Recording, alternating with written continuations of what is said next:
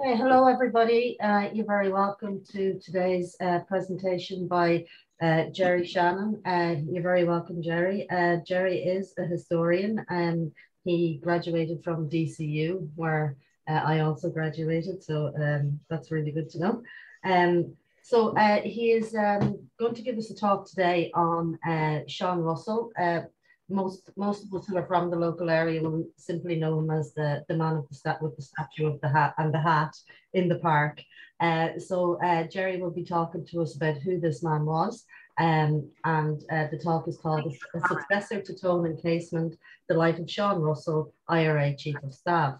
Um, he's, uh, Gerard is also writing a book, uh, which is due to be published next year on Liam Lynch, uh, by Merrion Press, so uh, look out for that. Um, so before we start, I'd just ask people if they could uh, uh, make sure that they are on mute.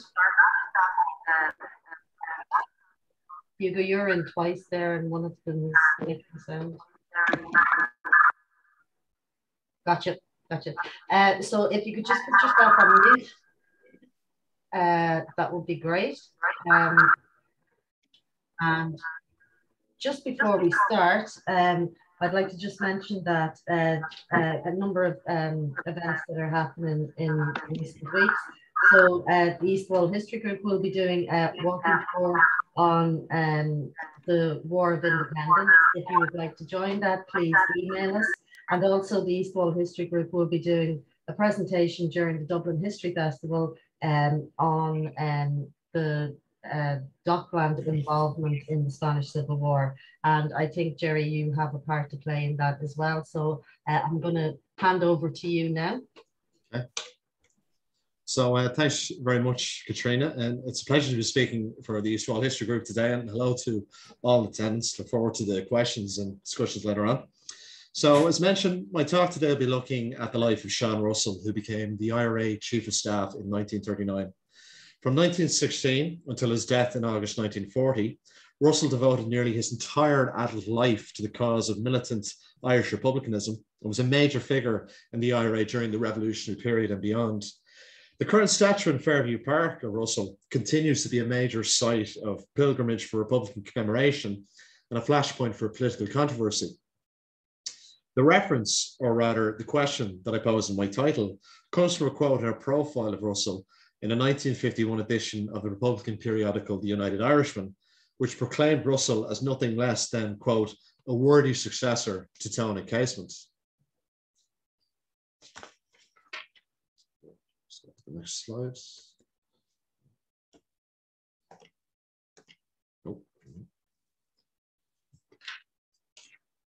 So in mid 2020, as protests in support of Black Lives Matter swept through much of the Western world, in these same countries, major debate played out in the public and media spheres over controversial statues in public spaces. In Ireland, one such debate involved the statue of Sean Russell in Fairview Park, as well as a typically lively debate on RTÉ's Liveline. The most notable intervention was then Taoiseach Leo Varadkar even publicly calling for the statue's removal, as you can see here. But controversy over a statue of Russell is nothing new. As we can see, the initial statue put up in 1951, you can see in the top right hand corner there, had through the decades seen arms and hands removed and even been decapitated. The most recent version of the statue, put up in 2009 to replace the damaged original, has also been the focus of vandalized attacks, as we can see here. And the original statue actually has a very interesting fate, which I'll reveal at the end of the talk. But the main controversy over Sean Russell relates to his clandestine travels to Berlin in 1940 to meet with representatives of the Nazi government in order to secure arms for the IRA, of which he was then chief of staff. This episode near the end of Russell's life is important, but it does not help us to understand who he was, or indeed why Irish Republicans in the 1950s felt him above many others was then deserving of a statue. Was he truly, as others alleged, a Nazi sympathizer? Is it right to call him even a Nazi collaborator? What made him to admirers, again, in the view of the article in 1951, a quote, worthy successor to Tone and Casement? And there, as I found in my ongoing research into his life, considerable challenges and obstacles to anyone who wishes to explore him. There is no personal Sean Russell archive in any of the existing institutions or collections. Russell left no memoirs or polemic tracts to explain his ideology or the reasoning behind any of his decisions. Though a veteran of the earlier 1916 to 23 periods, given he did not recognize the Irish Free State, he did not give a witness statement to the Bureau of Military History or apply for a military pension, which would help contextualize some of his actions from the decade that encompasses the revolutionary period. Though it's worth saying of interest that Russell himself was actually a referee for certain applicants for the state military pension. So as much as we can determine from the existing material that we do have access to, such as articles or accounts by others, who was Sean Russell? Now, both birth and census records help us to pin down the basic details of his early life. Russell was born John Russell on the 13th of October, 1893 at, for, at 41 Lower Buckingham Street in inner city Dublin. He was the youngest among three sons and four daughters of his father James, a clerk, and his mother Mary. A relative of Russell's has indicated to me Sean may have been radicalized due to growing up in the poor conditions of the tenements during his formative years. The 1911 census identifies Russell at age 17 working as a draper's assistant. By then, the Russell family was residing at 76 North Strand in the Mountjoy area of Dublin. Later newspaper articles and state records during the years of Sean's IRA activities would place his own residence at 68 North Strand. The one police, at least one police report places his residence at 66A North Strand. So if anyone has any clarity on where exactly his address was, I would appreciate it. I, I know some of the confusion may be due to you know other members of the Russell family residing in the area. Now, a series of articles in Sean Russell's life, published in 1951 for the English tabloid Reynolds News, and written by the IRA veteran Dermot Brennan, does much to illuminate key details of Russell's life. Brennan makes mention of Russell attending the Christian Brothers School on North Richmond Street. Sean apparently told his father James he wished to join the Cistercians monastery of Mount at the base of the Knockmealdown Mountains. James Russell was apparently reluctant for his son to adopt such a nomadic lifestyle, hence later Sean becoming a draper's assistant at a shop on North Earl Street, actually his first employment. Sean, however, became unsatisfied in the job and left it to become a shop fitter. Dermot Brennan writes this job allowed Russell to get a feel for tools and handling machinery skills he would later put to good use as IRA Director of Munitions. Swept up in the tide of nationalist fervour, typical of those of his age in the period, and this is likely when he first started going by Sean, Russell joined the volunteers in 1914 and went with the Eoin MacNeill led faction on the split from the Redmondite National Volunteers. The Bureau of Military History witness statement of Liam Daly is, in fact, an entire biography of Russell in the years from the rise into the Civil War. Daly's affection throughout the witness statement is striking, and he sums Russell up as, quote, the only Irishman that was incorruptible, and may his memory be such as to induce his virtue in Irishmen to come. That's a, actually an extract from it there on the left. Russell was a member of his local E Company of the 2nd Battalion of the Dublin Brigade of the Irish Volunteers, much of the area of the 2nd Battalion, of course, north of O'Connell Street. Daly recalled first meeting Sean Russell in January 1916 then already the section commander of E Company. Daly was struck by, quote, how even at this early stage, and without any military training, he infused a high standard of efficiency in this small group. Already at this early juncture in his revolutionary activities, Sean Russell was proving to be a natural leader. Nor was Russell to be found wanting in actual combat.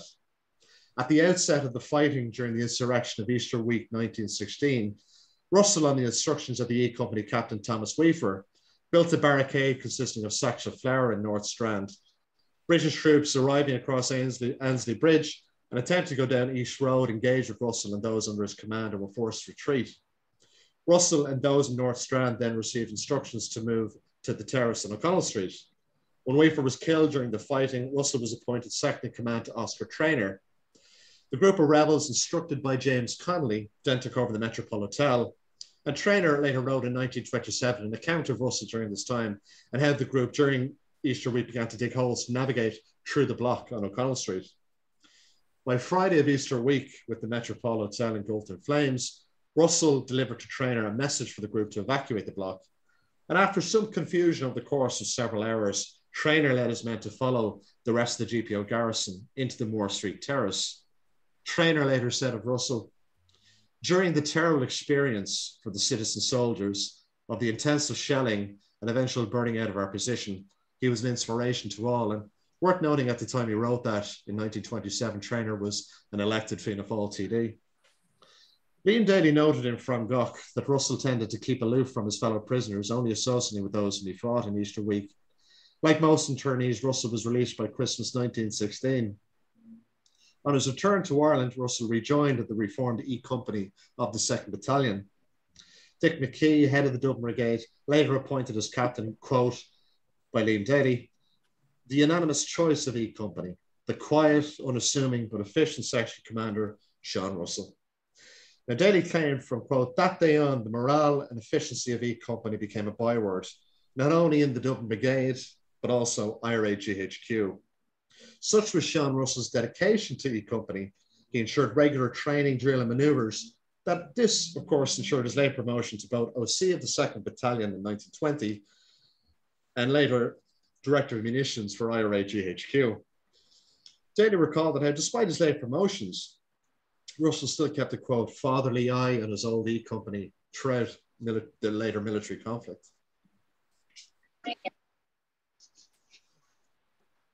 We get to the War of Independence at the outset in March 1920, sorry, March 1919. Daly proposed Russell for membership of his own circle of the IRB, the Irish Republican Brotherhood. On returning from that meeting in which Russell was sworn in, Daly wrote he was struck by how much of a momentous decision the occasion seemed to be for Russell on his admission to the IRB. He recalled how Russell, quote, spoke in a quiet tone, but with a crispness and a brevity of words that was part of him. He said, Liam, were it not for Easter week, I'd be in a monastery. And this, of course, a reference to his earlier ambitions. In May 1920, Russell succeeded Frank Henderson as commander of the 2nd Battalion Dublin Brigade, a position he held until the following November. Russell, at that time, was given a central role in the planning of the IRA operation on Bloody Sunday, or what became known as Bloody Sunday, rather, on the 21st of November 1920, in which, as we know, dozens of British agents identified by IRA intelligence were to be assassinated in various locations around the city that morning. The task assigned to Russell was to select the units of IRA men to carry out the execution of the alleged British agents, 12 operations in all. Five of these operations included men from Russell's own 2nd Battalion, joined by members of Michael Collins' squad and IRA GHQ intelligence on specific operations.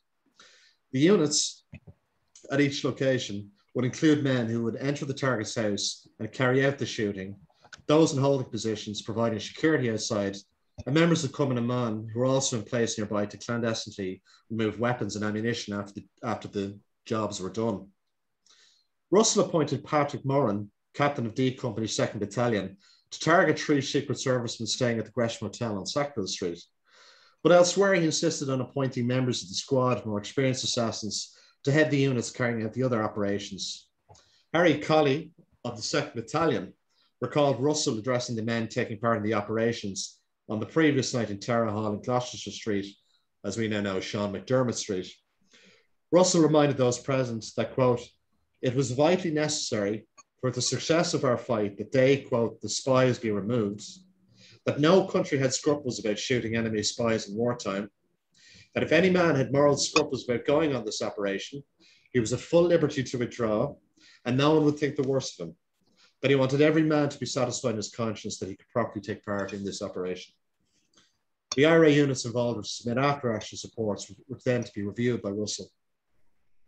In the week prior to November, the 21st November, Russell also secured the family home on 17 North Richmond Street of Catherine Byrne, a member of Cumann na mBan, in order to function as a first aid station if any of the men of the operations were injured. Russell would also personally ensure the same residence functioned as a safe house for Frank Teeling following his dramatic escape from Kilmainham jail in February 1921. As it was, 14 British officers were killed in the morning shootings and five more wounded.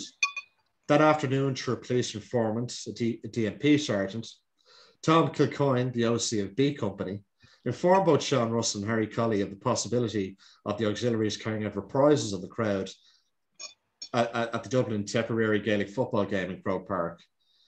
At the Joneses Road entrance to Croke Park, just prior to the match proceeding, Russell argued at length with GAA officials to prevent further members of the public gaining admittance and evacuate those that already assembled in the stands. But of course, the match began, and all three members of the IRA were dismissed by the Croke Park officials and departed the area. Of course, we all know what followed with British forces opening fire on the crowd there in Croke Park on that day, killing 14. Later that afternoon, Oscar Traynor, Vice Brigadier of the Dublin Brigade, recalled Michael Collins instructing him and Russell to assemble the best men of the 2nd Battalion to attempt a rescue of Commandant and Vice Commandant, respectively, of the IRA's Dublin Brigade, Dick McKee and Paddy Clancy, who had been arrested the night before from the Bridewell. Collins had requested Traynor to meet him at 46 Parnell Square. Collins's intelligence was faulty, however. McKee was instead taken to McKee and Clancy were instead taken to Dublin Castle, and Traynor, Russell, and Collins himself actually avoided an hour escape from the authorities who swooped in 46 Parnell Square. McKee and Clancy, along with a civilian Conor Clune, were shot dead by the auxiliaries in Dublin Castle that evening. It was actually following Bloody Sunday that Michael Collins appointed Russell as Director of Munitions on IRA-GHQ, a sign perhaps that Russell's planning had impressed the Director of IRA Intelligence. This appointment came at great protest to Collins from Oscar Traynor, who had now assumed command of the Dublin Brigade and wished Russell to be his second in command. Thomas Young and the IRA munitions staff was to claim Russell's appointment did not have the approval of him or others involved in munitions.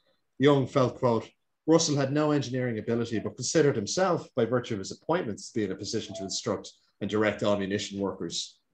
However, in the opinion of Oscar Traynor, Russell was a tremendously keen volunteer and had an extraordinary bent for organising and establishing matters of this kind.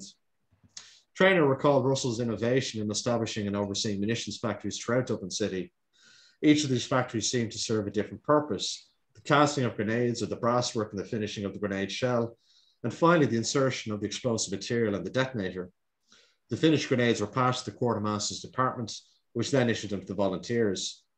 Russell feared the possibility of all the work being lost in one enemy raid, which explained the widespread of the various factories throughout the city the main munitions factory was at 198 Great Britain Street, we of course now know as Parnell Street. Other areas involved Crown Alley, Luke Street, and Peter Street.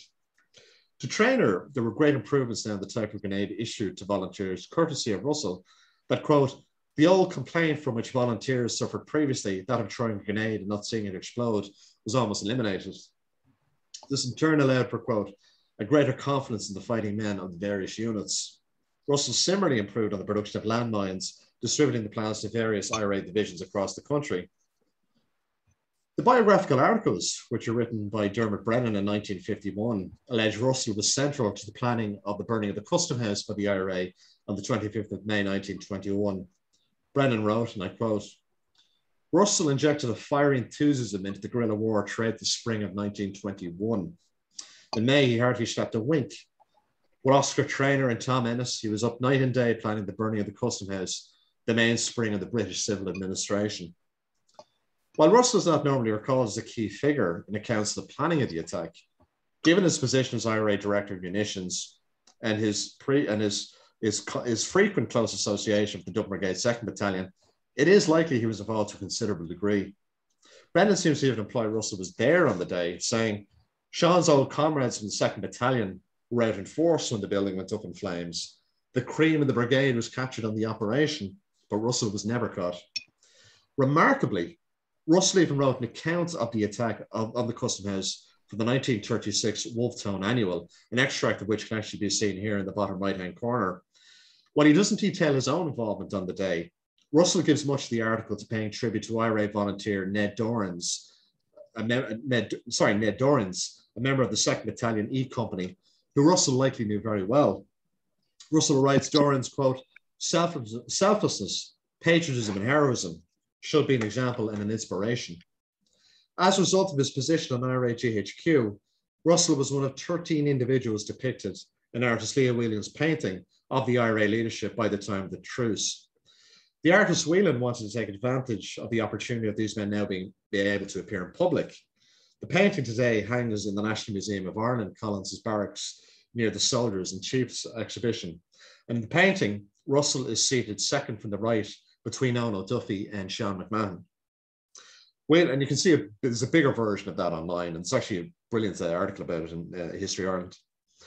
Whelan completed the painting in late 1922 or early 1923, by which time many of those depicted together were now opposed to each other in the Irish Civil War. In the case of those such as Michael Collins and Liam Mellows, dead. Of the Civil War itself, well, following the signing of the Anglo-Irish Treaty in December 1921, Russell was one of only four members of IRA-GHQ opposed to the settlement along with Rory O'Connor as Director of Engineering, Seamus O'Donovan as Director of Chemicals, and Liam Mellows as Director of Purchases.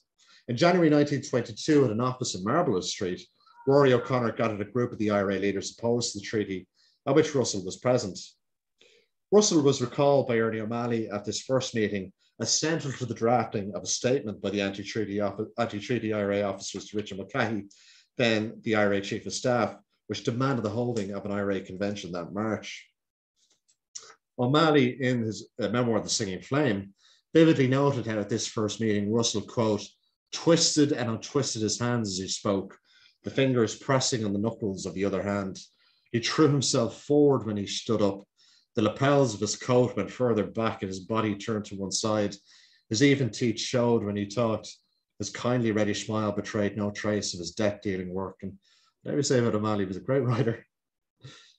Russell, not surprisingly, again assumed the position of Director of Munitions on the new anti treaty IRA executive following the convention's rejection of the authority of Dáil Éireann that March.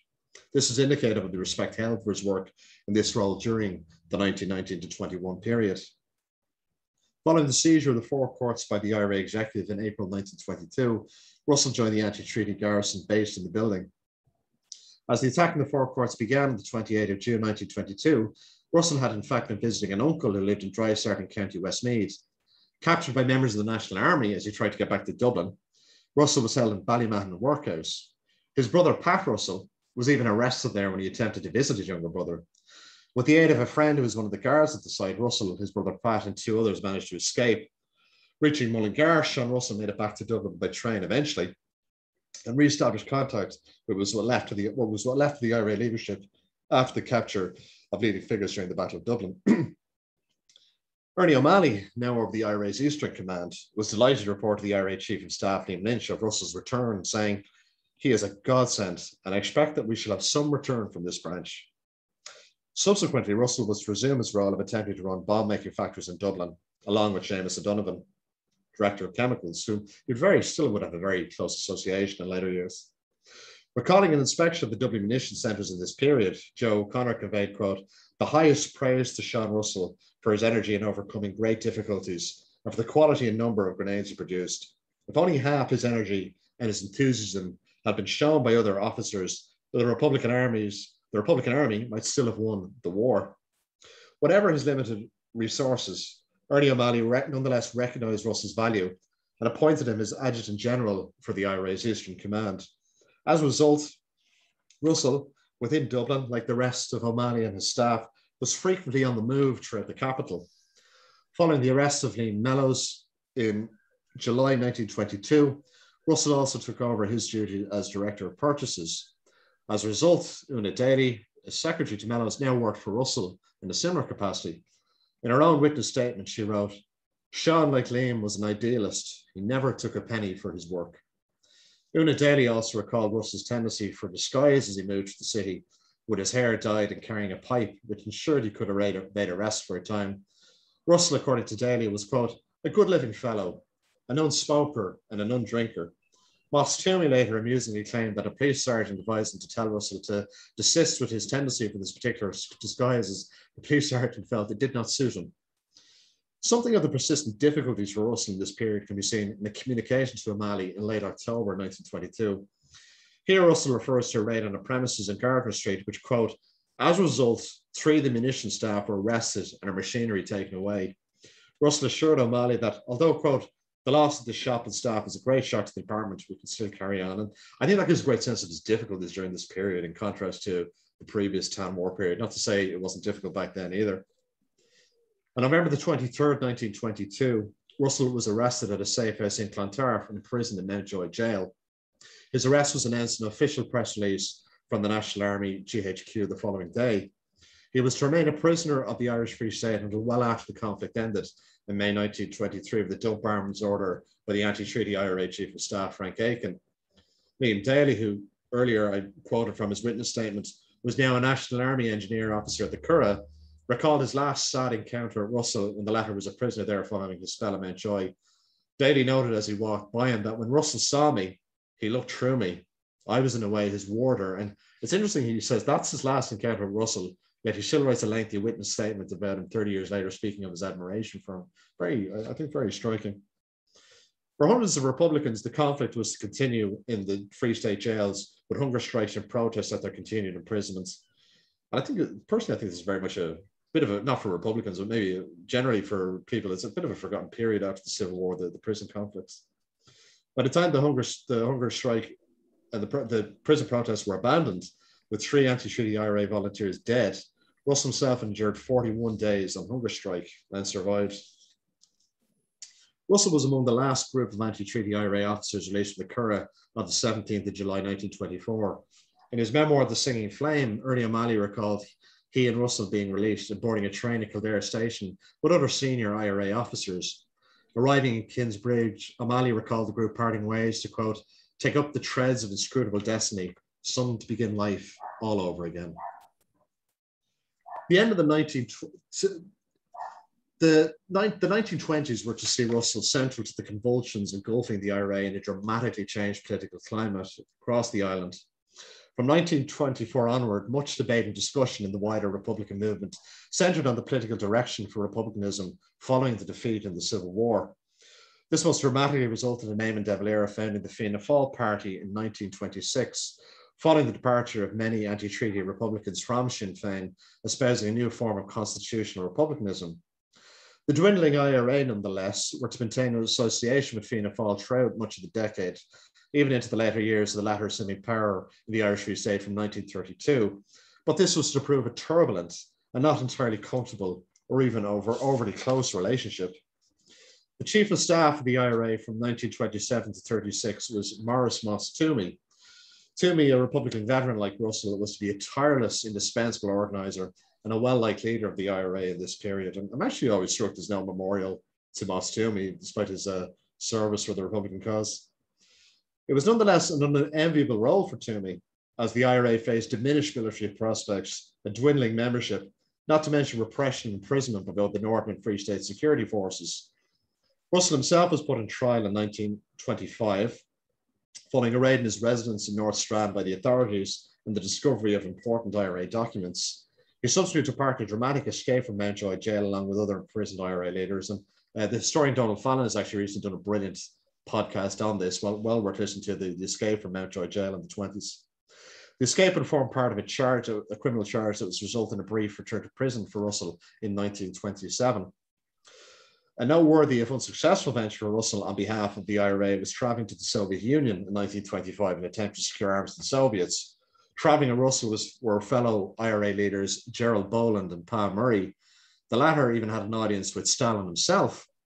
And there's actually a brilliant article on this in History Ireland, well worth listening to, that details the strange association uh, the IRA saw with the Soviet Union in the 20s. From 1927 to 36, Sean Russell, holding the rank of Commanding General, would take on the position of Quartermaster General on Twomey's IRA staff. In this role, Russell was expected to be responsible for the supply and distribution of arms, equipment, and ammunition to IRA units. Twomey and his senior chief of staff felt it was important to keep a firm hand on such a strong personality as Russell. However, as the subsequent decade was approved, the deeply militant and compromising Russell was to emerge as central to the intense political debates that would engulf a divided IRA, preferring the beginning of a new military campaign than flirtation with class politics.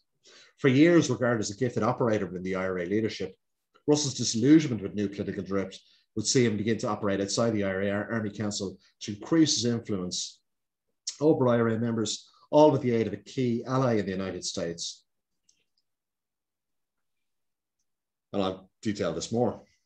So in August 1931, Russell, on behalf of the Army Council, visited the United States in a fundraising tour for the IRA. And the picture on the right is actually from a later tour However, he generally found Clan na Gael, the support organisation for Irish republicanism within the States, had greatly diminished in terms of fundraising and membership, not dissimilar to the IRA, of course.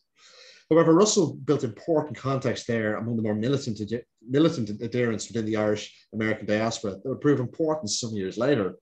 Along with his continuing work as quartermaster, which partially involved regular visits to various IRA units, Russell cultivated an important support base within the IRA that was to help him greatly in the years ahead.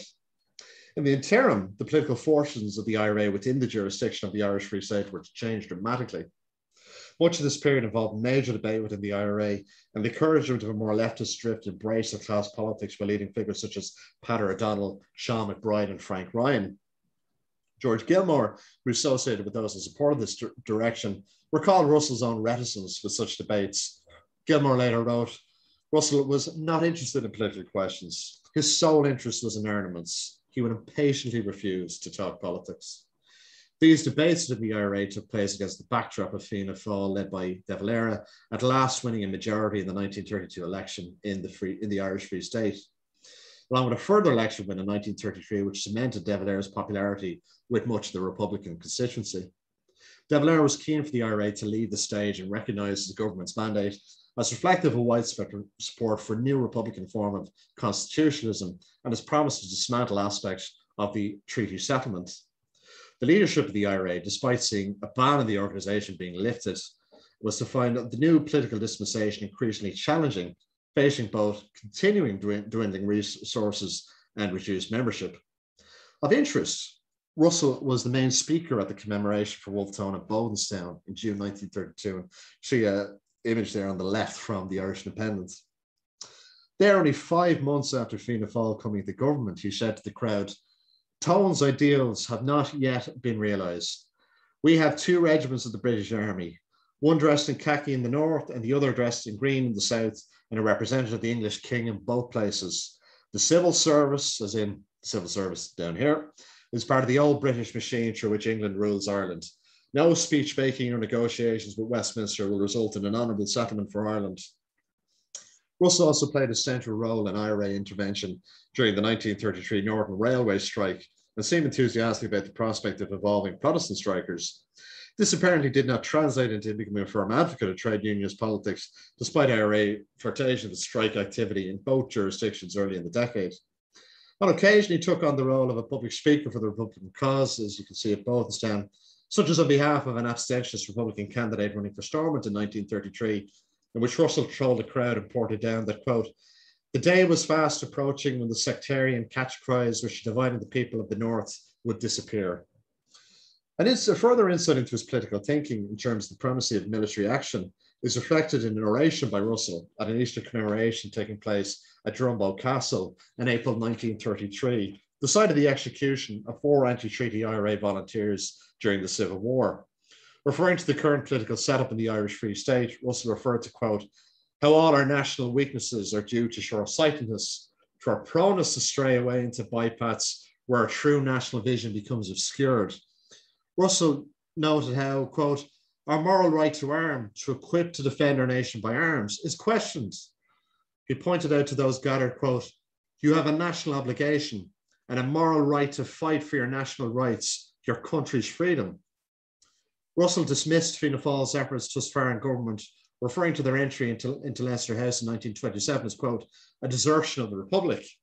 The gradual dismantling of the various terms of the Anglo-Irish Treaty were referred to, quote, how instead of scrapping the treaty, they, Fianna Fáil, offer you a popularised treaty. The IRA quartermaster displayed little ambiguity when imploring Republicans to, quote, never again allow it to happen that moral right give way to political convenience. Russell would, in fact, later write of a two-hour meeting he had in government buildings with De Valera in 1934 in the latter's capacity as president of the Executive Council, the latter having requested Russell's presence as a member of the IRA leadership. Russell claimed De Valera pushed for unity between the IRA and Fianna Fáil, provided the IRA surrendered its arms to the government and ceased all military training. When Russell dismissed the ideas as impractical, he suggested cooperation of the IRA provided, quote, De Valera put the issue of the Republic before the people at the next general election and support it or declare the Republic within a reasonable time. When Russell pushed for this proposed period to be five years, he added to De Valera, in the meantime, you have no embar- you will have no embarrassment so far as we, the IRA, are concerned, as we will cooperate with you in every way, provided De Valera agrees to declare the Republic. De Valera, in Russell's account, quickly dismissed the idea and brought the meeting to a close. Now, the departure of many left-wing IRA activists throughout the 1930s particularly on the founding of the ill-fated Republican Congress in 1934, would not only remove considerable political talent from within the organization, but ultimately allow for the more militant strain to dominate, such as that represented by Russell himself. The historian Sean Cronin, who was later a successor as IRA Chief of Staff, concluded Russell, of all the IRA leaders of the 1920s and 30s, was probably the most conservative politically and socially. Now, given his personal leanings, Russell would emerge as the chief proponent of a new bombing campaign on, in England, similar to earlier Republican efforts in the 1880s and 1920. Given his frequent contact with IRA units as quartermaster, Russell gained a loyal group of followers whom the idea of renewed military action against England greatly appealed. A key relation for Russell outside Ireland was association with Joseph McGarrity, the Philadelphia-based leader of Clan Gael. And if you look at that photo on the right, you actually see McGarrity sitting on the chair behind Russell. Given the constitutional drift of Fianna Fáil, McGarrity, who was formerly a key ally of De Valera during the 1919 to 20 period, had grown distant from De Valera and had little appreciated or understood Fianna Fáil's success. McGarrity was also considerably disenchanted with the inner convulsions within the IRA over its political direction and no solid plan for a new military campaign. In Sean Russell, McGarrity found a willing and seemingly capable ally. Whilst Twomey felt Russell's and McGarrity's close association was because both men were alike in their single mindedness and in their ability to overcome opposition by ignoring its existence. Russell visited the United States in July of 1936 and met McGarrity. Both men reached, quote, a complete understanding of this new campaign, with McGarrity promising finance and vital resources. On his return to Ireland, Russell wrote to McGarrity, referring to his allies within the IRA, that the idea has been accepted favourably all round. We're hoping to make a start before long. In May 1936, the IRA Chief of Staff, Moss Twomey, had been arrested by the state security forces in the Free State following a spat of IRA activities, which culminated in an impatient Fianna Fáil government again declaring the IRA an illegal organisation. They'd lifted this ban previously in 32. Sean McBride was co-opted as Chief of Staff, and in the following months clashed with Russell, who frequently advocated for his proposed bombing campaign in England. Tom Barry, also on the IRA Army Council, was dismissive of Russell's idea and wanted to push for the court martial of Russell over an apparent misappropriation of IRA funds and arms. Dan Gleeson, later interviewed by the historian Uinseann MacEoin, was one IRA leader involved in the court martial of Russell, which took place in January 1937. Gleeson felt it was a fiasco, particularly as Russell chose to have no one speak in his defence. Gleeson felt no one present involved were happy in their roles, though it was regarded as a positive and Russell was finally expelled. Now, it should be noted that the consensus appeared to be Russell kept none of the funds for himself, having instead spent it on IRA activities, but without the approval of the Army Council. The chief purpose of the affair was to marginalise the increasingly independent minded Russell. Now, even this seeming setback was not to prove any kind of debtor for, Russell's ambitions or that of his most prominent ally, McGarrity. Russell was invited to return for a public speaking tour across the United States throughout the summer of 1937, and I'm fairly certain that's where the photograph on the right comes from which is extraordinary given his previous dismissal from the IRA. Though Russell was to find clan membership and financial support poor in certain areas, he felt that his promise of a new campaign had, in his own words, created a new interest in Irish affairs.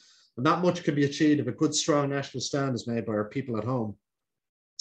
Now, Russell was determined to, that the proposed campaign would take place with or without the support of the IRA Army Council. Writing to McGarrity in November 1937, Russell made clear that he and his allies, quote, have already sufficient men who are capable of putting our policy into effect. And we fully realize that force, the example, and the increasing support which will inevitably come to us with our initial successes. Russell seems intending that the proposed IRA convention in April 1938 would dramatically accelerate the timeline for the bombing campaign in England, given some IRA units preferred to wait until then. At the convention, the current Chief of Staff, Tom Barry, led the opposition to the, to the to proposed English campaign declaring to those gathered it was as doomed to failure as the Fenian dynamiters of the 1880s. Barry's preference the last number of years with the IRA to push for a campaign within the Northern Ireland state, feeling there were enough military targets for the IRA in the six counties.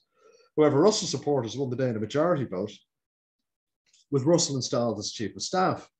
Barry and four others resigned from the IRA executive, arguing the IRA Army Council had behaved unconstitutionally in appointing a dismissed volunteer as chief of staff it was the end of Tom Barry's sometimes turbulent career in the IRA.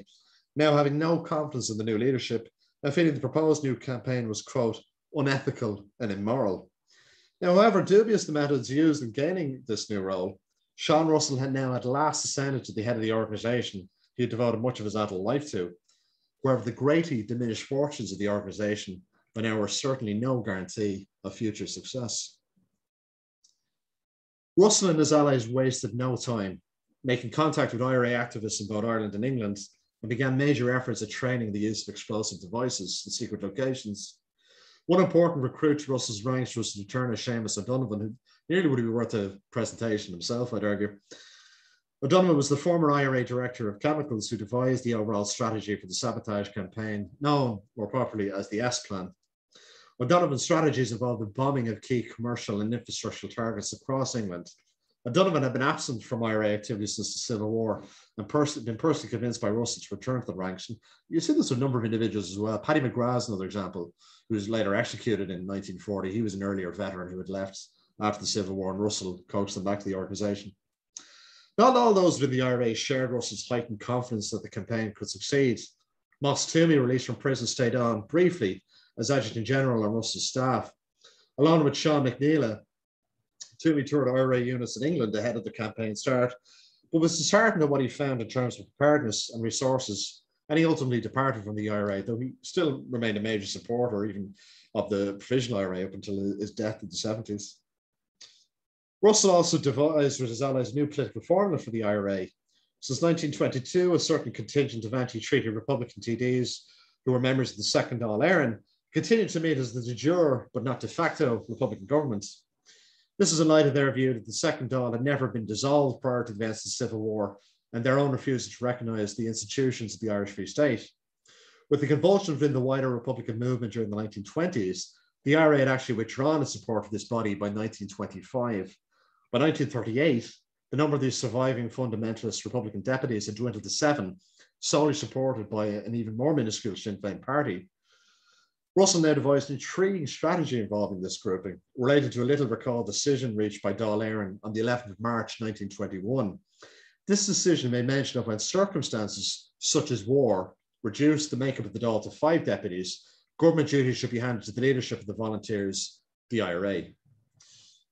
Russell met this grouping, now led by Mary MacSwiney, sister of hunger striker Terence MacSwiney, at her home on the 8th of December 1838, the anniversary of the execution of IRA leaders in Mountjoy in 1922. After a brief discussion, this group of deputies agreed to hand over their quote, executive authority to the IRA Army Council and pass the resolution as follows. We hereby delegate the authority reposed to us to the Army Council in the spirit of the decision taken by the Dáil in the spring of 1921. So, keeping with this Republican belief, the IRA Army Council, in their view, could now claim to be the de jure government of the Irish Republic as declared in 1916. For Russell and his allies, this is an important tool in their propaganda. And this would later have a long life within a certain section of republicanism itself, as seen with Tom Maguire in 1969 and later in 1986. Now, shortly thereafter, Russell called the general meeting of the IRA convention in Dublin. There, the 50 delegates reaffirmed their support for him on the 12th of January 1939, a statement was issued to the British Foreign Secretary, Lord Halifax, signed on behalf of the Republican government and the army, giving notice to the British government to withdraw all military forces from Ireland. If not, the IRA would be compelled to intervene actively in the military or commercial life of their country as, as your government are interfering in ours.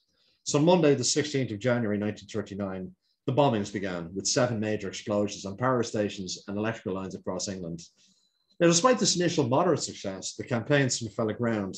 Intelligence failures, most disastrously, the authorities come into possession of the S plan, mass arrests, the inevitable civilian casualties, diminished whatever momentum the campaign could have had. One chief reason for its failure was the unfamiliarity of many IRA volunteers with the country in which they were now operating. As IRA veteran Dan Keating recalled, there were too many people sent over who had no knowledge whatsoever of the country or where they were going. Writing to McGarrity in March 1939, Russell talked the opening of the campaign with some slight acknowledgements its effects were perhaps not to his liking. He wrote, Our successes, though perhaps small, had gone to the volunteers' heads.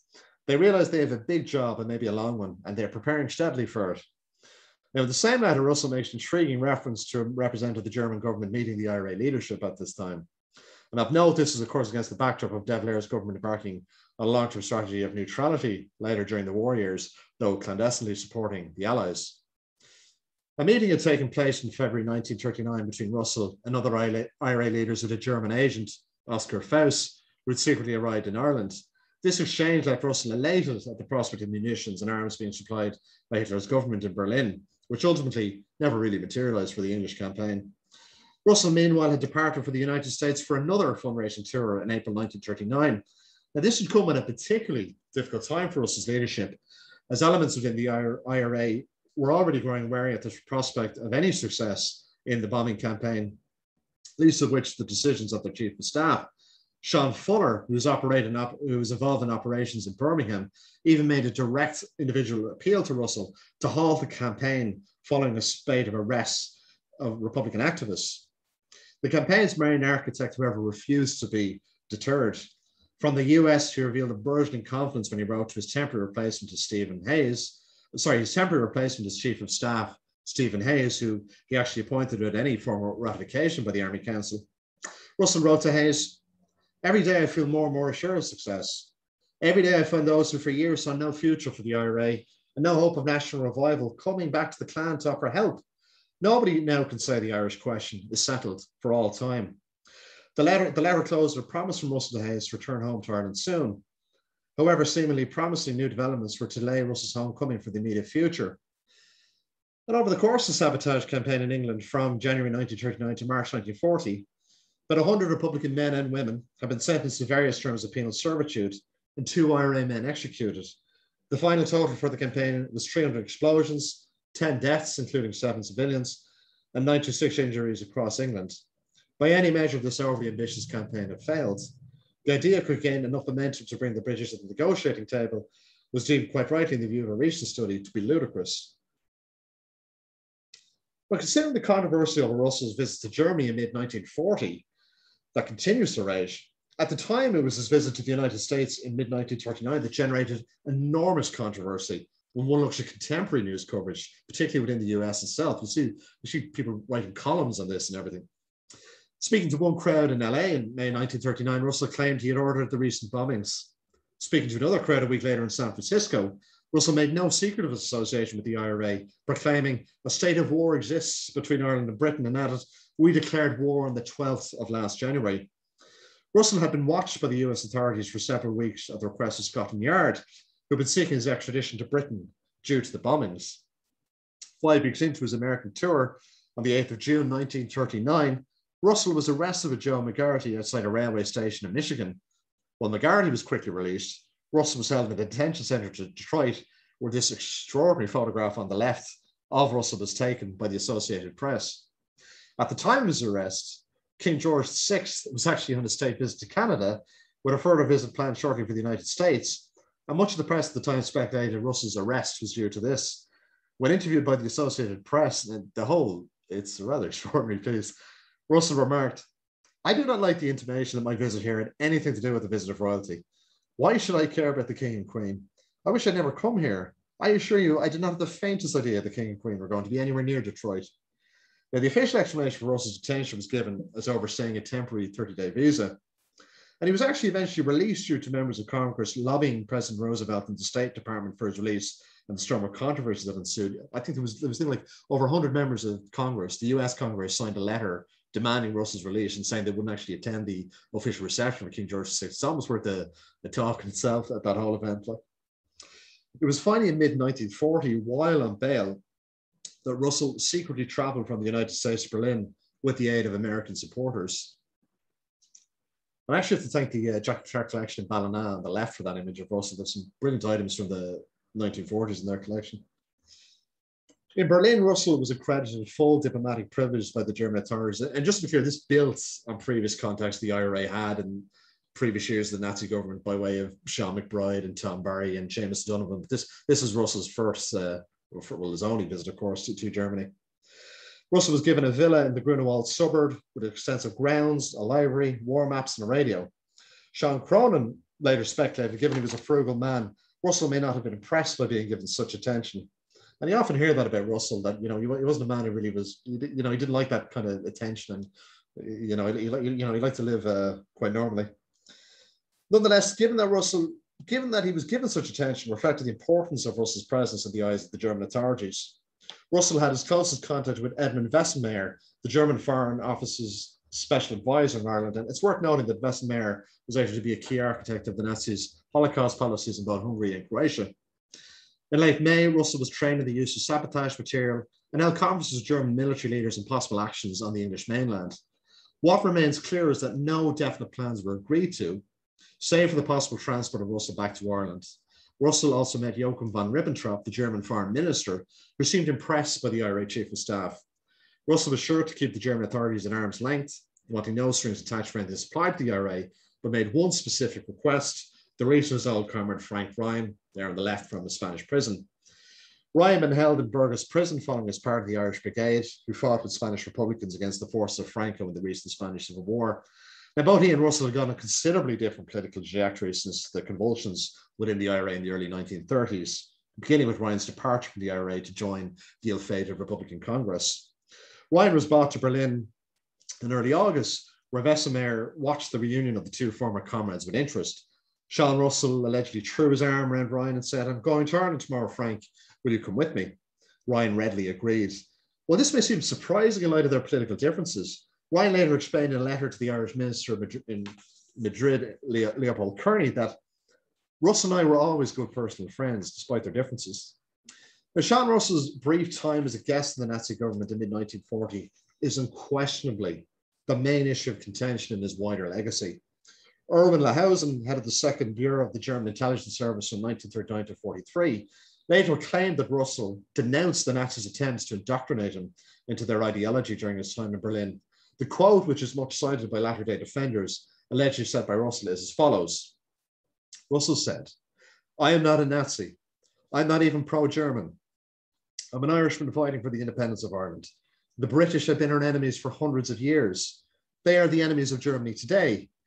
If it suits Germany to give us help to achieve independence, I'm willing to accept it, but no more, and there must be no strings to help.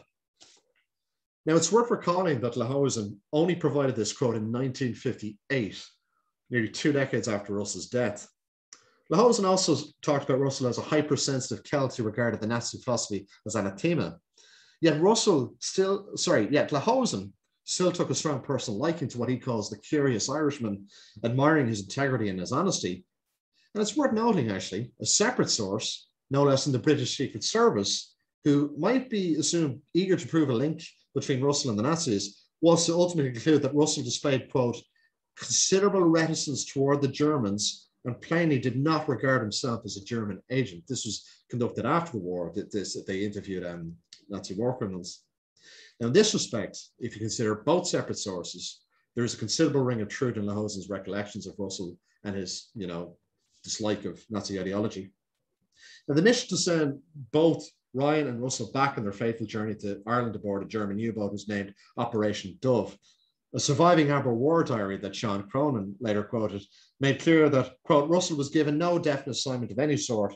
All the German Foreign Office gives him is the chance to make use of Ireland's opportunity Apparently, all Russell had in terms of luggage was a special wireless set to communicate with Berlin in a code.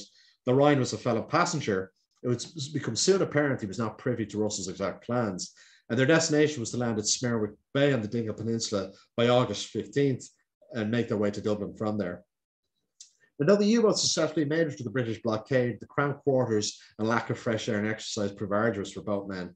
Faithfully so for Russell, from the outset of the journey, Russell suffered severe vomiting and stomach pains, and despite the efforts of a medical orderly and Ryan himself, Russell's cramps increased in severity, and he died on the 14th of August with the U-boat hundreds of miles west of Galway. He died in Ryan's arms, and then Russell was buried ingloriously at sea wrapped in a blanket, though other accounts suggested a tricolour or a Nazi flag. The tricolour detail actually comes from Lahousen, and it's the United Irishman in 1951 that alleges he was buried in Nazi flag. So a couple of conflicting sources there. I personally think he was just wrapped in a blanket and buried at sea. On his return to Berlin, Ryan gave two sworn affidavits to the German authorities, where subsequently two leading physicians deduced that Russell probably died of a burst ulcer. Ryan himself rubbished speculation, and there was a lot of it after Russell's death, writing to Leopold Kearney the following year these rumors of Russell having met a violent death in Gibraltar and Barcelona are absurd. I think one alleges that he, the MI5 assassinated him in Macedonia. Bizarre. And Ryan goes on, he says, To my knowledge, he never set foot in either place. The other rumor about my part in alleged assassination doesn't worry me, and it didn't worry Ryan because he knew the truth. He was there. Ryan also hoped to return Russell's personal effects, including his watch to his relatives in Dublin. And Godspeed the day he ended the letter. Of course, he was never to do that. He never got the chance. Ryan died in hospital in Dresden in the summer of 1944 due to, due to pneumonia. His body was later repatriated to Ireland in 1979. Very impressive monuments over his grave, actually, in Glasnevin. Dr. Veesenmayer, who had come to hold John Russell in high regard, opted to preserve Russell's personal effects and papers for his relatives. And Russell also apparently sat for a portrait during his time in Germany that even his family inquired of in a file in the National Archives of the Gardaí in the, in, uh, the 1940s. However, all of these effects and the painting, if it ever existed, was lost in later Allies, Allied air raids on Germany. Now, by the end of the war, mass internment and multiple executions of Republicans by the government of De Valera against the backdrop of the failed campaign in England greatly diminished the fortunes of profoundly demoralized IRA. Now, the, organization, the IRA's connection with the Nazi government through this period remains a murky, confused one. At the time of Russell's stay in Berlin and thereafter, there strange episodes and convoluted episodes in Ireland involving German spies and their associations with Republicans. Consistently, or at least early on, German officials seem to assume the IRA, even with their small membership, had a more inflated role in Ireland itself, particularly in terms of their influence on De Valera's government. The full story of the Nazi government's involvement in the IRA during the Second World War is beyond the context of this talk. Following Russell's death in August 1940, his replacement as chief of staff, Stephen Hayes, who was later accused of being an informer, sanctioned a strategy called Plan Kathleen, which would involve the invasion of Northern Ireland by Nazi Germany to be assisted by the IRA. A failed northern campaign by the IRA in 1942 also received little support or aid from Germany, and they apparently were not impressed with the proposed plan Kathleen either. The reticence of the Germans is, is reflected in the recollections of one Nazi agent of Ireland, Ireland, Hermann Goertz, who wrote following the war, or rather, he was interviewed following the war. In spite of the fine qualities of individual IRA men, as a body, I consider them worthless. A leader once boasted to me that he had in a certain district, I was not really interested, 5,000 sworn members. I answered him that I personally would be completely satisfied with 500 men who knew how to obey an order. I would march into Belfast and destroy the Harland and Wolff shipyards. And these men would have done more for Ireland than 5,000 talking about the second Dáil and the third Dáil and their legality.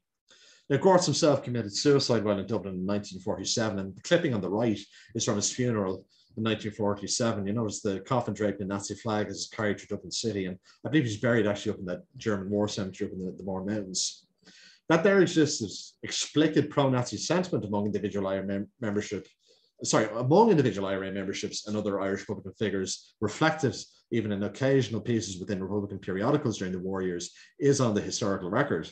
Historian Brian Hanley has noted how it is clear that at least a section of the IRA leadership were attracted by Nazism's success.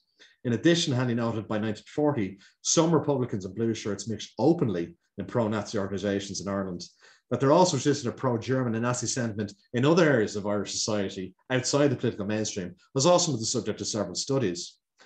Now, ultimately, it'll remain a subject of conjecture. What exactly long term would have been the results of further contacts between Russell and the German authorities had he lived, particularly at the time of the war, turn in Germany's favour?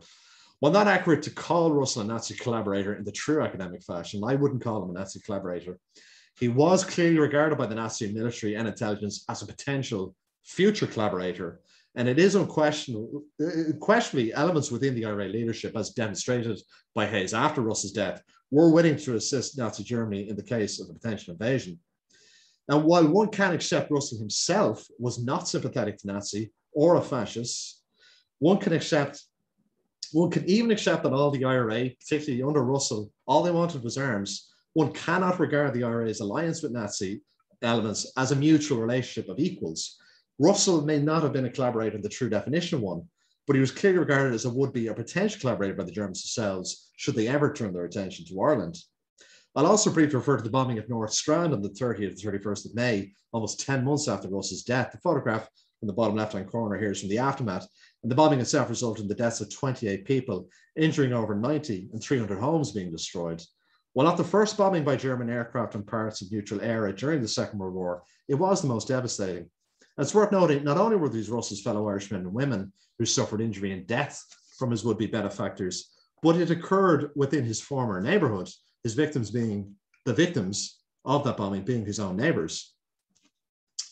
Now, the photograph of the left is from the unveiling of the first statue to Russell in Fairview Park in 1951, funded by his supporters in Clan in 19, funded by his supporters in Clan Commemoration of Russell in some form endures the present day, most prominently in the form of the current statue erected in 2009.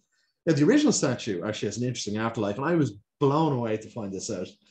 It was actually rescued. You remember the decapitated statue we saw? It was rescued and restored by the late great historian Martin O'Dwyer. And it's actually currently on display in the Cashel Folk Village in Tipperary. There it is in the middle photo there at the very top. And below, of course, is the statue in Fairview Park. So next time, whenever we have the debate on the merits of having a statue to Russell, I would advise anyone surprising someone who disagrees with it by mentioning there are in fact two statues of Sean Russell today standing in Ireland. And I must note, and I don't think this is said enough, to be honest. Not only is the statue in Fairview Park a statue to Russell himself, but it's actually a memorial to all the IRA dead of the 1930s and 40s. The names, the names on different plaques on the plinth of it. So, you know, IRA members killed by hunger strike or you know execution or other means. So after the unveiling of the first statue on, on Sunday, the 9th of September 1951, an impressive crowd gathered at Fair. Sorry, my apologies. At the, event, the impressive crowd gathered at Fairview Park for the unveiling of the statue, and as you can see, Russell was depicted on the large plinth, saluting with his right right fist clenched in defiance. Later, later interpreted as a communist salute, if you believe it. The Republican news sheet, the United Irishmen, noted the parade that marched from Parnell Square, which represented groups across the breadth of militant Irish republicanism and included units of the IRA, Cumann and Sinn Féin, along with members of Fine Gael, Cumann na mBan, Cumann Coilíney, and of course Clan na Gael. There are also representatives from Dublin City Council and the GAA, and there's a brilliant uh, Garda Special Branch report in the National Archives listing the names of all those present, and just some fascinating names. They're much more prominent later on in Republicanism, like uh, Rory O'Brady and Cathal Goulding. Uh, Brendan Behan was there actually, of interest, which is of interest. The main speaker at the unveiling was Mr. T.A. McGonigal of Clan na Gael, the Irish American Republican support organization who had funded the monument. McGonigal demonstrated the respect Russell's old allies in the US still held for him, referring to him as one of Ireland's greatest soldiers and one of the most unselfish characters I've ever known. In the same issue, the, uh, the United Irishman, a detailed account of Russell's final days ended with the statement, Sean Russell, worthy successor of Tone and Casement. The reference itself was a none too subtle allusion between Russell seeking aid from the government of Germany to earlier efforts led by Republicans such as Tone and Casement to secure international help for the Republican cause. Now, it's striking that Russell received such praise and a statue only over a decade after his death and in such a tribute. Particularly the more well known earlier figures from the pantheon of Irish republicanism still lacked any similar monument at that time. Yet such contemporary tributes do much to obscure the murky circumstances of Russell's passing, not to mention how much he was a divisive figure within the IRA in the final decade of his life. Yet for much of his revolutionary career, true to the rising of the Civil War, he was recognized as a charismatic leader and not in the least lacking in physical courage, highly capable in his various leadership roles. The huge compliments came from figures who diverged later from him politically, such as Oscar Traynor and Liam Daly, as striking. His contemporaries through the 1920s and 30s, even those who eventually opposed him, still widely recognized his personal sincerity and his firm, if unsophisticated, Republican beliefs. How did Russell regard his own personal ideology? Particularly with the drift of elements within the IRA toward a more radical left wing direction in the 30s. And I'm going to finish up on this. While there's little evidence of written tracks in the existing archival material in which Russell details Republican thinking, his contemporary communications with his peers, such as McGarrity, in addition to accounts of political activities through this period, give the portrait of a very determined militant, firmly set on strictly military action and with a, and with a great desire for swift, decisive action on the part of the IRA. Well, however, there is some evidence for us to recognise some degree of potential in the IRA engaging political activity, provided it shared the ultimate aim of his own organisation. Russell's limited involvement in strike activity did not lead to the development of a distinct political strain in his own ideology, more likely making him a assured of his own brand of traditional militant republicanism. Nonetheless, from the beginning of the 1930s, Russell emerged as a divisive figure amongst his peers. Alongside this, he initially acted outside the ranks of the IRA to plot the ill-fated bombing campaign in England you know, whatever the disastrous outcome of this campaign, military failure would little diminish the consistent nature of Republican commemoration of him. That also was a strictly military figure, made some effort and that made some effort to bring his allies along to the promised land of separation from Britain, goes some way to explaining him being des- deemed deserving of a memorial by his former comrades in 1951.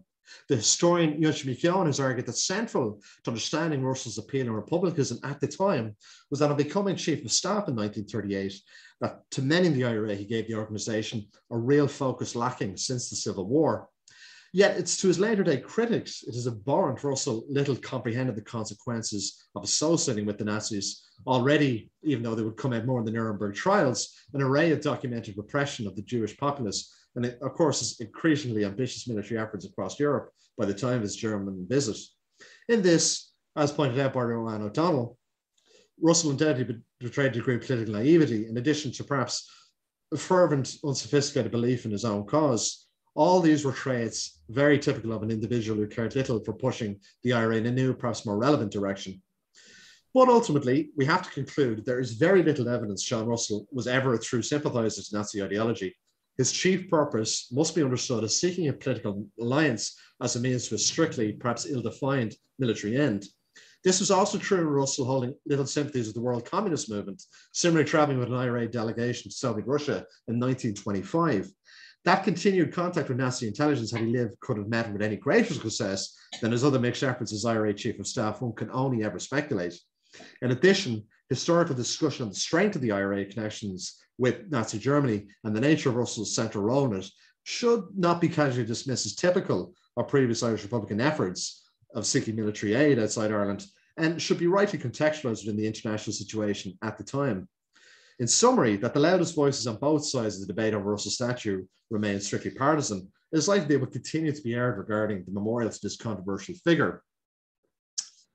Through the existing material, Sean Russell himself emerges as a charismatic figure and not in the least lacking in physical courage, highly capable in his various leadership roles. It's striking similar compliments, said, came from figures later version politically. As the historian Eunan O'Halpin has noted, Sean Russell was a professional revolutionary of intensity, commitment, and endurance, unusual even within the Republican movement. And so to end, the combination of both new and old sources in archives give a chance to illuminate the life of this controversial, frustrating, and often enigmatic figure. In understanding Sean Russell as much as the archival material allows, we can further expand our understanding of the endurance of the political tradition of militant Irish republicanism across both pre and post independence in the early 20th century Ireland. Thank you all very much, and apologies I went on a bit too long.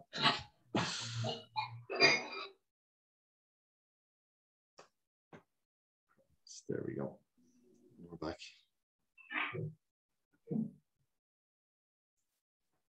So, Katrina, I presume questions or whatever happens next.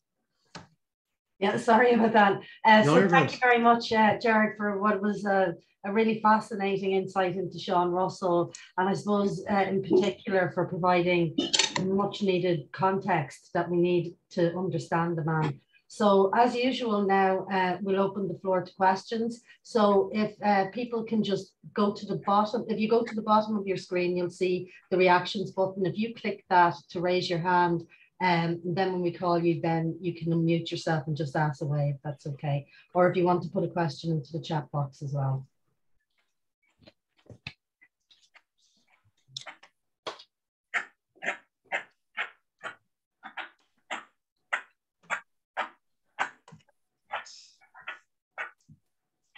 And we have a chat in here from uh, Tony McGrath. He's asked, he said, very enjoyable and enlightening. Thank you. Uh, the current statue is dated as 2007. Okay. Is it known who funded this? And was there any objections to unveiling it at the time? Or did Nazi, the Nazi link happen after that? Well, thanks for the clarification on the on the year, uh, Tony. Um, the great the um, the statue was funded by the National Graves Association. Uh, they're a Republican commemorative body that have been around since the mid 1920s. Um, I know there's offshoots up in uh, Tyrone and Belfast, but the, the, the main the organisation since the 20s are based uh, down in this jurisdiction. I know the secretary Matt Doyle very well. Um, he, he explained to me how they went about that. Um, I, I think I think because the statue was getting the original statue was getting damaged so much um, they they would have a subscription for members, but they've often done appeals for kind of new memorials and that, particularly if the St. Paul's Monument the Glass Seven actually was a brilliant recent example of that actually. Now I, I, believe they would have sought funds from their members and you know public appeals and that. Like um, I, I think there was objections at the time. I mean, I, have read, I've collected so much between letters and different columns about the, the statue, even even from the fifties. Like um, yeah, I, I, think there was objections. I, I think I, I, think there was one surprise that like um because I, think I, think I'm not I, this can be clarified for me by someone, but I think the National Graves Association own that patch of land that the statue's on, you'll notice it's in within a, a fence. So they actually had ownership of that previous to the erection of the new statue. So they they own that. So they could do not maybe what they wanted, but they, they wanted to put up a new statue there too. Um, uh, no, that there was objection. Your asking was there objections in terms of the, the the link with Sean Russell and the Nazis?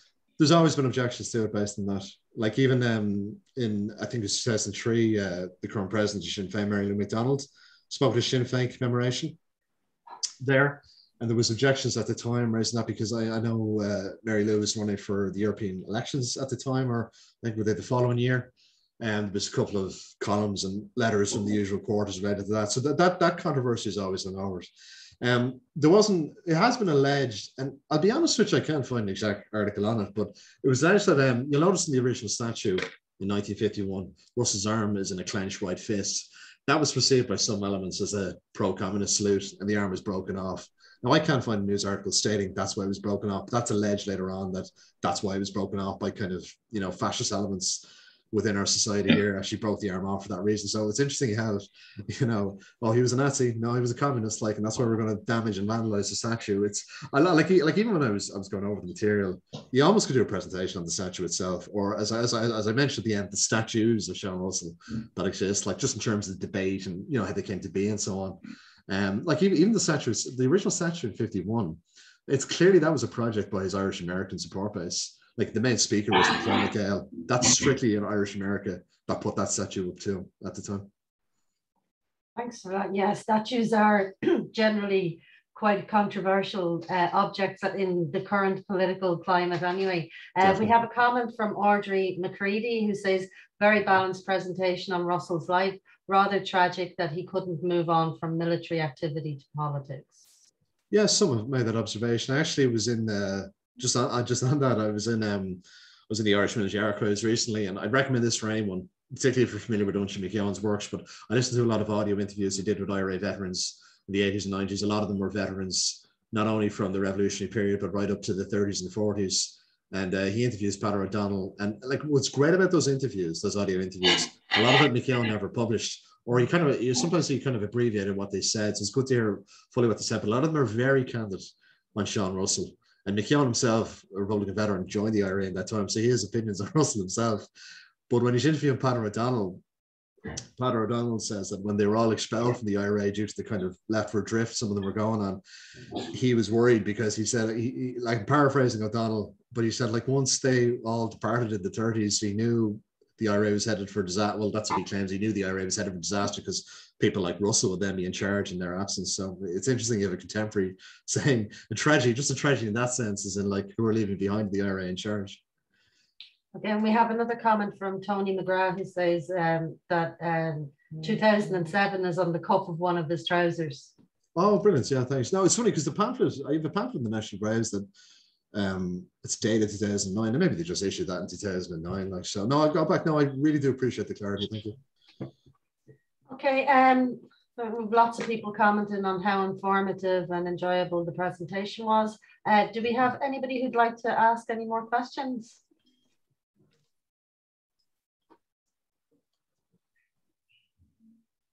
Hugo, you were talking earlier about um, the list uh, of people who attended to uh, attended one of the um, was it one of the commemorations? Do you want to tell us a bit more about that? What I was saying was, um, my grandfather went to the unveiling of the statue. Now he he he would have gone in a personal capacity, but he would also, as he had the gun permit for the first battalion for commemorations, so right. he would have been very mindful that he wasn't just going on a personal level, mm. he was actually going to represent the battalion. Mm. And he he didn't do these things lightly. Mm. You know, even if he wasn't organizing a firing party, um, he was aware of the implications. Yeah. Do you know what I mean? That's what I, I'm fascinated at times when I see lists for a funeral and he's turned up there. Yeah. yeah. I'm kind of going, what's the connection? Yeah. Because I know there is a reasoning behind it. You know, and none mm. of them did these things lightly and they sat down and they thought mm. about it and they calculated it for mm. mm. well, whatever amount of time they had before funerals. Yeah. Say, right? Yeah. So, um, and as I was saying to you, I think when I first found that list in the National Archives, Yeah, it's a brilliant I was yeah. fascinated because I'm looking. It, it's the whole of Irish life is there. Yeah, oh, definitely. Yeah. But yeah. what fascinated me was the amount of people who, now I'm by no means as up to speed on somebody like Russell as you are, right? But I was just fascinated by just how many people that I would be aware of wouldn't have been on the same page with Russell. Mm. But they still went and they went respectfully. And I Mm. think it's they were still mindful of the fact that a period in time when they were on the same page as Russell, Russell was Yes. a very significant figure. Yes, definitely. And I think he's I think he's a figure that we really need to, to reassess. He's somebody we could do with a fairly decent biography of Yeah. because I think people steer clear of somebody like Russell, Yeah. whereas in reality, there were an awful lot of people, say, from the labor movement who moved into communism, who then started to flirt, flirt with fascism Mm. because they looked at National Socialism, and National Socialism was this incredible Yeah. economic miracle in Germany. Yeah. At the same time, you had members of the English royal family and the higher levels of society in Britain Mm. looked at National Socialism and they were going, who is this Alfred, uh, um, uh, Adolf Hitler guy? What Yeah, is yeah, amazing.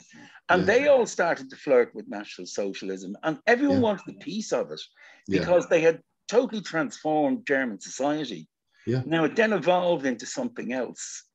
But we look at the end product Yes. and we go, how could you do that? Yeah. But I don't think we necessarily understand the impact that National Socialism had in Mm. countries, particularly among people who had been involved in movements that had failed, Mm. that, it, that had never delivered on the early promise. Yeah.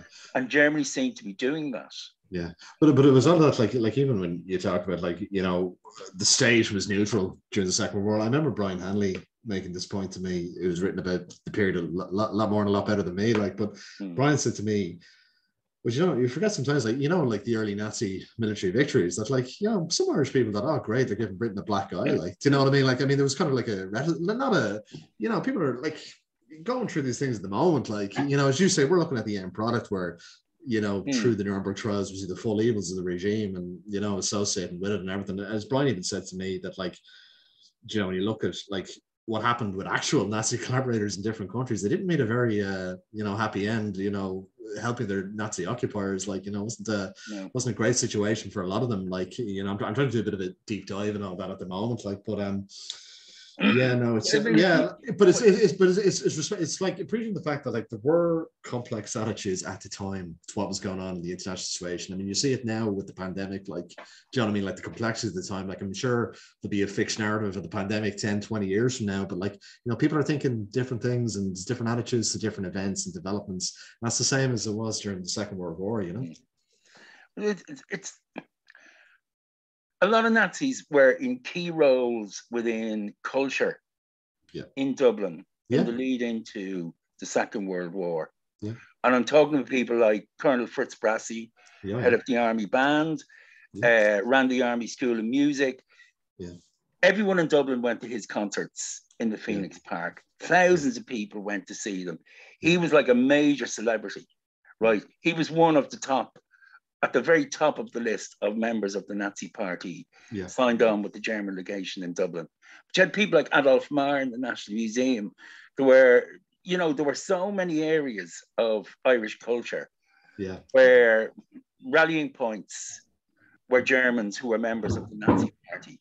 Yeah. You know, Definitely, and definitely. we had a slightly different take on Germany at the start of the war. Yeah. To the end. Yeah. You know, and I'm getting Yeah. off my soapbox now. Yeah, but that- that's, that's the, but that's the thing. Like you know, it's like it's such a major, complex subject. Like like even writing the talk, I'm like, because I, I just thought I had to have a, slide maybe contextualizing it a bit. But like even I'm going like, God, you could really you could do like a series on this. Like you know, not even like mm. one talk talking about all that at the time. Like you know, but like I mean, I I just think I mean. I mean, I think it's like I, I do take that Russell was not. He was, it was just he was just purely out for the be it the financial support and the armaments. I can that's very clear to me from what I look at. I mean, we can debate them. I, I think it's I think it's right though. Like to debate the morality of that association, but that wasn't immediately obvious to the IRA leadership and membership at the time. Like, you know, it's just England's difficulties, Ireland's opportunity. Mm. You know, we can criticize how why is that you know, like sometimes the enemy of your enemy, sorry, the, the enemy, the enemy of your enemy is not a friend, it's just another enemy sometimes. Like, like, like that, that doesn't always seem so obvious in the moment. Like it's it's it's the danger of reading history backwards, I think. You know, mm. you, you do you do get that a lot. Like even but you know, but like, I know, I, I know another comment you made about like, you know, that it does need to be a major study of Sean Russell done at some but I would be interested myself in doing that.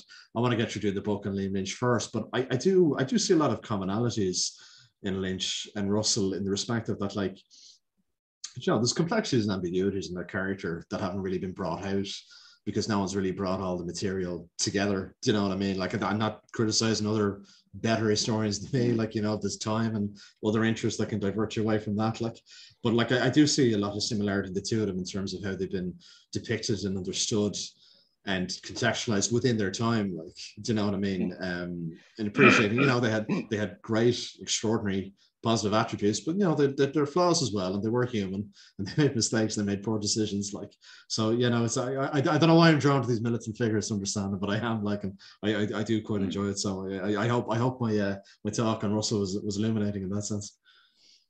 We, we have a comment from Manus now. If you want to unmute yourself, Manus. Yeah.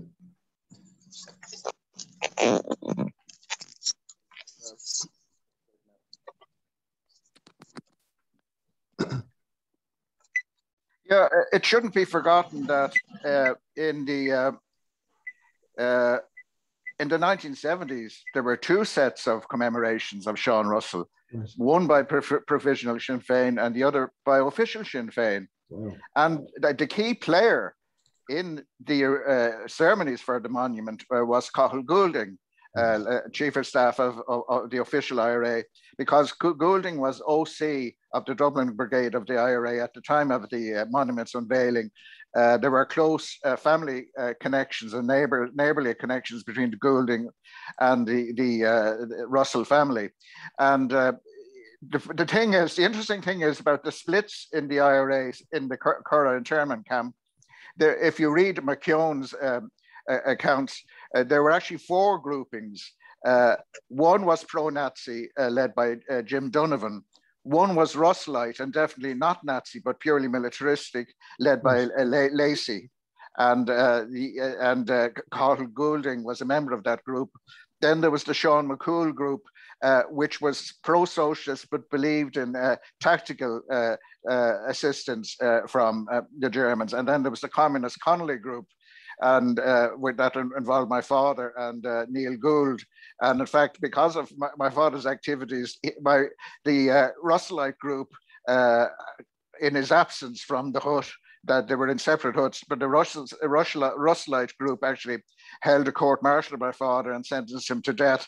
Now, obviously, it wasn't carried out since I was born in 1949, but um, uh, I have had occasion to uh, defend uh, Russell's integrity uh, uh, with two now disgraced journalists, Kevin Myers and Eoghan Harris. I think because, I read one. I think I think I read one of those letters actually. Yeah, uh, brilliant. Yeah. and I mean, the key thing about Russell is he was a pure militarist.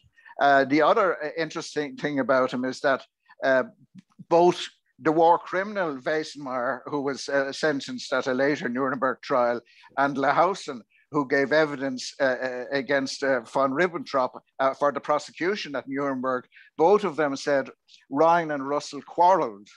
And it's quite clear they would have, uh, have quarreled because yeah. Uh, Ryan was dead against the bombing campaign, as testified by his fellow prisoner in Spain, Tom Jones, even to the point of Tom Jones suggesting that Ryan was willing to give information to the British authorities about uh, who was involved in the campaign. I, I, I, would take that with a grain of salt. Yeah. But it's interesting that um, people who accuse Ryan, wrongly accuse Ryan of being a German collaborator, never deal with the evidence that he might have been a British collaborator in relation to the, the bombing campaign. But the other interesting thing about the bombing campaign is that uh, I, have published a, correspondence. My, my uh, sorry, I, have published uh, uh, something from the diary of Desmond Greaves of the Connolly Association, who visited Cork in 1939 and spoke to two IRA veterans of the Spanish War, my father and Jim Regan, and they were both opposed to the, the bombing campaign, thought it was very destructive. Nonetheless, Regan, being a loyal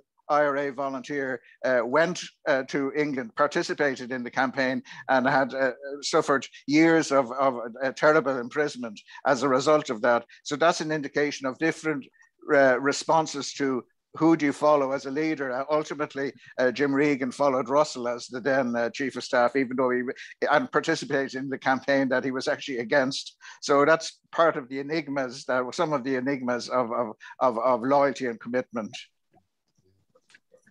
It's really that's, that's, that's, really interesting. Thanks very much for that, uh, Manus.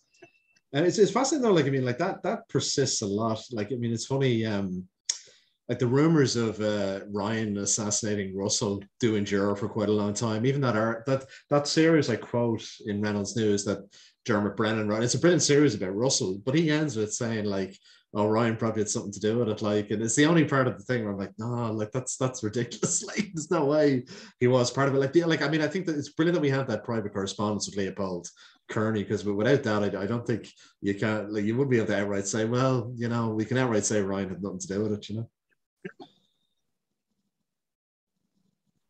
Okay, have we any more questions from anybody?